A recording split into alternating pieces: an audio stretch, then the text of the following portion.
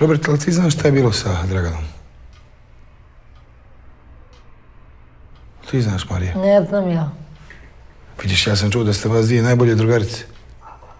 Ona je to iznisila.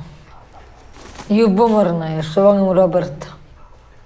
Da Bog da crkla, vješti.